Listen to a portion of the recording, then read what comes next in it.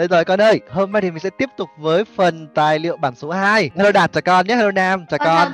Giang này, Nhã Lâm, Đức Bình này, Khánh Huyền này, Khôi Nguyên, Nguyên, Minh Khôi chào con nhé. Các con ơi, hôm nay thì mình sẽ quyết tâm chữa hết các phần ở tài liệu bản số 2 này. Tài số 28 nào. Question 28. Rick drove 1,363 miles in his new car the first year he owned it. He drove 15,934 miles in his car the second year. How many miles did Rick drive these two years? Họ nói là bạn Rick bạn ấy đã lái xe 12.363 dặm trong cái năm đầu tiên mà bạn ấy mua cái xe ô tô này. Uh, he owned it là kiểu hiện anh ấy, rồi. khi mà anh ấy sở hữu nó. phải bằng 28,290 and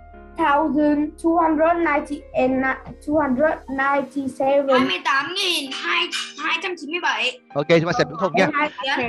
Rồi. 100 trăm luôn Rồi, chúng ta xem đúng không nào? Năm đầu tiên thì đi được 12.363 dặm. Vào năm thứ hai ấy thì anh ấy lái xe đi được 15.934 dặm vào năm thứ hai. The second year he owned it. Hỏi trong 2 năm anh ấy đã lái được bao nhiêu dặm? Đơn giản quá nhỉ các nhỉ? Cộng vào thôi nào, thì cho mình ghi câu văn đấy nhé. For two years. Trong vòng 2 năm thì uh, Rick drove 12,363 at 15,000 934 Alright, equals um, con ra là 21.000 cơ sao nhiều thế nhỉ? Mình tôi nghĩ là khoảng tầm 18.000 thôi, có vẻ hợp lý hơn đấy các bạn.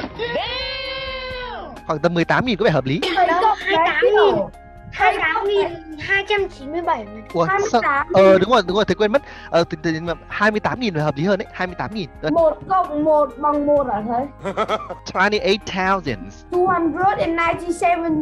miles 297 miles, 97 miles. Chính xác. Anh ấy đã đi được 28.297 dặm, 28.297 dặm. Chính xác, cảm ơn con. Rồi xuống bên dưới nào con ơi. Con làm thầy bài số 35 nhé. Question 35. Measurements. A moose weighs 1,820 pounds. Pounds là một đơn vị đo cân nặng, đo khối lượng ở bên nước ngoài. Đúng không? A camel weighs 1,521 pounds. How much more does a moose weigh than a camel? một con nai là 1820 pound Đúng rồi. Ca- ờ, Camel là lạc đà đúng không? Lạc một đà đúng nhỉ? đà Ừ. ờ, một con lạc đà hoặc là con đá điểu nhỉ? Ờ, lạc đà rồi. Để thử ghi đây nha. Nào, bao nhiêu nào? Ok. Rồi, chúng ta xem đúng không nhé.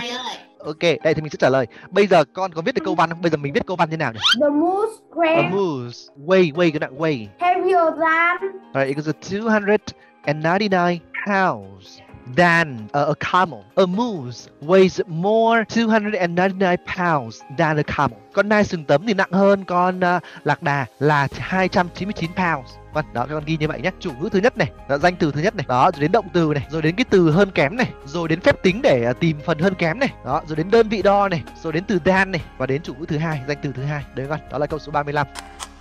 Rồi xuống bên dưới nào con ơi. Chapter 2, question 36. James earned $125 last month for delivering newspapers. He will earn $185 this month. How much money will James earn from delivering newspaper for the two months? nghĩa là James earn này 125 200 rồi ạ Rồi, 210 ạ ok, xem nào.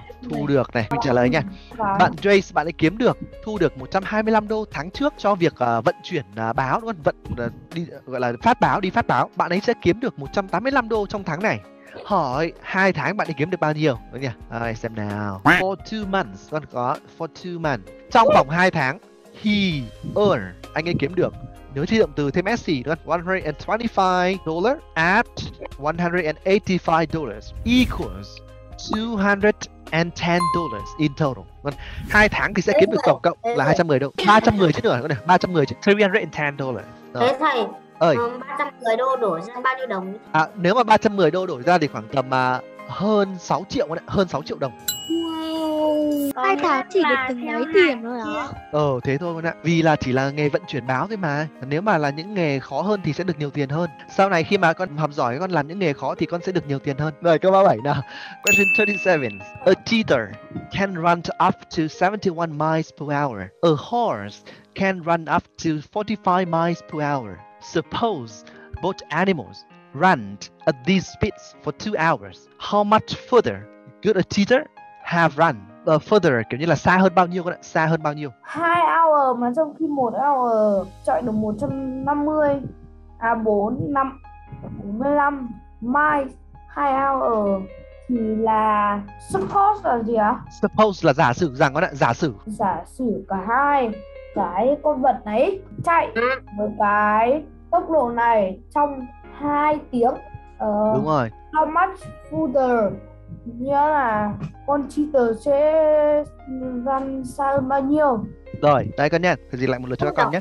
Ở một con báo đốm á một con báo đốm thì có thể chạy lên đến tốc độ là 71 dặm một tiếng. Ngựa con ngựa thì chỉ có thể chạy được lên đến 45 dặm một tiếng thôi. Giả sử rằng cả hai động vật này đều chạy với tốc độ này trong vòng 2 tiếng hỏi báo đốm sẽ chạy xa hơn ngựa bao nhiêu xa? Báo đốm chạy xa sẽ chạy được nhiều hơn ngựa bao nhiêu xa? A few minutes later. thầy đã nhận được câu trả lời của Nhật Nam rồi. Cái tốc độ này có nghĩa là giữ nguyên tốc độ của nó đúng không thầy? Đúng rồi giữ nguyên tốc độ của nó. What Ê, chỉ cần dùng 71 trừ 45 thôi cần gì nhiều? Rồi một bạn ra bằng à, 36 à 26 một bạn ra bằng 26 26 26 26 26 có ai 26 ra bằng có ai ra bằng 26 không ta sai 26 sai. Còn có ai về đội 26 nữa không nhỉ? Không, tôi năm hai. rồi rồi chính xác. Có 52, 52 nhỉ 26 là bẫy đấy các bạn đúng rồi 26 là bẫy. Thầy thầy chỉ xem là có bạn nào dính bẫy không thôi. Đó, 52 71 trừ đi 45 xong rồi nhân cho 2 đúng rồi chính xác. Hai đó. đóng ngoặc cái đã phải đóng ngoặc.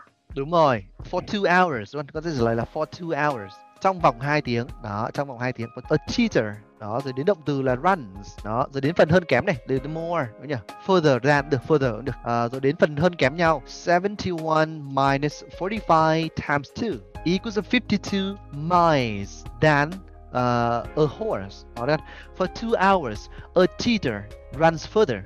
71 minus 45 or times 2 is a 52 miles than a horse further còn được đọc một cách à còn được viết một cách khác đúng rồi đó đó là từ cách nào father. Đúng Father. chính xác đúng rồi. Có một cách khác nữa là họ có thể đúng rồi họ có thể viết bằng từ father. Nó hơi hơi giống từ bố đúng không hơi hơi giống từ bố trong tiếng anh nhưng mà nó nó, nó có chữ r. Đúng rồi chính xác.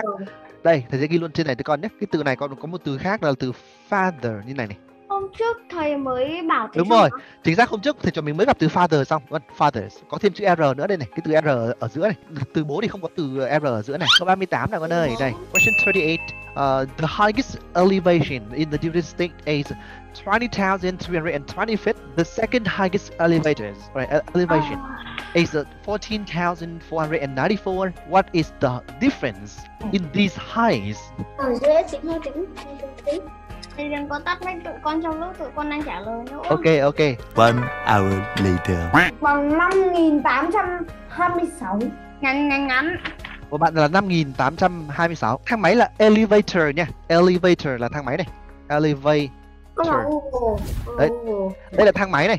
Còn cái từ elevation đấy nó hơi khác nha. Elevation thì là độ cao thôi. Họ nói là cái ở trên toàn bộ nước Mỹ con ạ ở trên toàn bộ nước Mỹ thì thì cái chỗ mà cao nhất nước Mỹ á chỗ cao nhất nước Mỹ là cao 20.320 feet chỗ cao thứ nhì là 14.494 hỏi difference. Hiệu số ạ. Hiệu số đúng rồi hiệu số. số Đó, hãy- đúng rồi hãy tìm hiệu số giữa độ cao hai độ cao này. năm nghìn tám trăm hai mươi sáu đúng rồi chính xác. 826 alright the difference. 5826 the difference in these height is.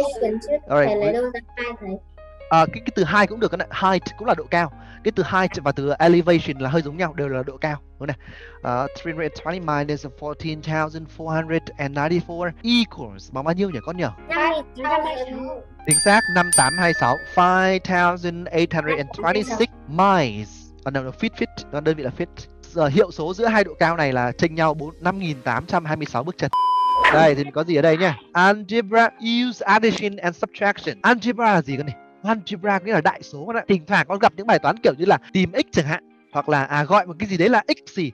Gọi số lượng học sinh trong lớp là x gì đúng không? Đó thỉnh thoảng thế. Có có những bài toán kiểu như thế này. Ví dụ như là như là ờ đúng rồi kiểu kiểu đấy. Đó, những bài toán tìm x như vậy ấy, thì gọi là đại số đấy các bạn ạ algebra. Đó, ví dụ như là gọi sự đẹp trai của thầy bình là x gì và x là một Ờ. số quá lớn không thể tính được Hỏi thầy cũng hỏi các con công nhận không các con công nhận không nếu nếu gọi sự đẹp trai của thầy là x gì thì x quá là lớn. xấu không thể tìm trai được. của thầy là x.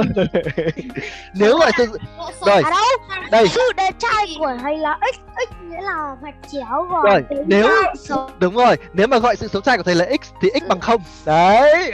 Sự xấu trai của thầy là ờ, là sự đẹp trai của v sự xấu trai của thầy là là Sống của thầy rồi có ok Sự giống trai của thầy là quê chín ngày chín rồi đây con đây tiếp tục nha. Ờ, vậy thì đầu tiên thì mình sẽ đi tìm hiểu là alright, what are expressions and equations? Biểu thức là gì đây con này?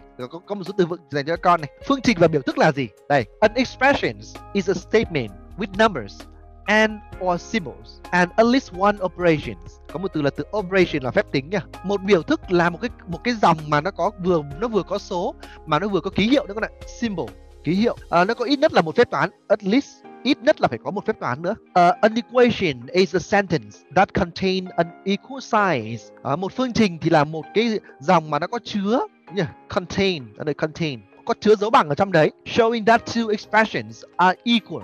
Cho thấy rằng là hai biểu thức là bằng nhau. Ví dụ này con này, con nhìn ví dụ nhé. Example. A tiger can live x years in the wild. Ví dụ một con hổ có thể sống được x năm ở trong tự nhiên uh, and five years longer in the zoo và có thể sống lâu hơn được 5 năm ở vườn bách thú. Alright, the equation below can be used to find how long a tiger can live in the wild if it lives 20 years in the zoo. Phương trình bên dưới có thể được sử dụng để tìm xem là con hổ có thể sống có có thể sống được bao nhiêu năm ở trong tự nhiên nếu như nó sống được 20 năm ở trong vườn bách thú. Chúng ta gọi x gì là số 5 sống được trong tự nhiên. Vậy chúng ta có x cộng 5 sẽ bằng 20. Vì là số 5 sống trong vườn bách thú thì nhiều hơn số 5 sống trong tự nhiên là 5 tuổi mà. Nhiều nhiều hơn 5 tuổi. Cho nên là mình cộng 5. Thì đây là một cái ví dụ mở đầu liên quan đến à, đại số. Đấy thì cái ví dụ dễ, để giúp các con dễ hiểu nhất ấy, thì cái ví dụ mà thầy vừa nói với con đấy, nếu gọi sự đẹp trai của thầy là thầy của thầy mình là x thì x là một con số quá to và không thể tìm được con số to đấy. Nên, còn nếu gọi sự xấu trai của thầy là x thì x lại rất tiếc là bằng không. con sẽ làm thầy câu 18 với lại câu 18. 18 à? Ừ. H baseball uniform needs three buttons. Copy and complete the Rồi, xem nào. Each baseball uniform needs three buttons. Copy and complete the tables to find how many buttons are needed for 12 uniforms. Bắt đầu. 36 36 đúng không? Con có nghĩ là 36 không? cần nhân cho 3 thôi chỉ cần nhân cho 3 thôi Đúng rồi, lấy số bên trên nhân với 3 để ra số bên dưới, chính xác. Đúng rồi. Đó, số lượng đồng phục đúng rồi. Số lượng đồng phục thì sẽ ờ, nhân với 3 để ra được số lượng cúc. Vâng. Tức là mỗi một chiếc, mỗi một bộ đồng phục thì sẽ có 3 chiếc cúc. Vâng. Mỗi bộ đồng phục sẽ có 3 chiếc cúc ở trên đấy. Hôm nay thì mình sẽ tạm dừng ở đây, xong buổi sau thì chúng mình sẽ học tiếp tài liệu bằng số 3. Các con nhớ nhờ bố mẹ in giúp con nhé. Bye bye con. Bye bye con. Bye bye con. Hẹn gặp lại con. Bye bye.